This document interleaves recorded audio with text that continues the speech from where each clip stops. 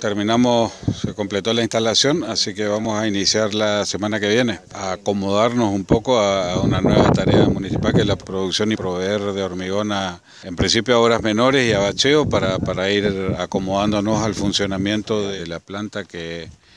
que adquirimos y a partir de ahí eh, ir acomodándonos en el transcurso del tiempo para hacer provisiones de, mayores volúmenes. Tenemos que mejorar bastante el predio, el suelo, eh, bueno, estamos terminando el, lugar donde van a funcionar oficinas, sanitarios, que van a estar también terminadas para la semana que viene, pero bueno, llegamos al punto que nos interesaba, que era probar el funcionamiento de,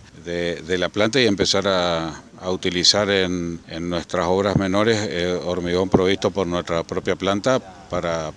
iniciar este proceso, esta nueva tarea que, va a tener la municipalidad de eh, proveerse de su propio hormigón.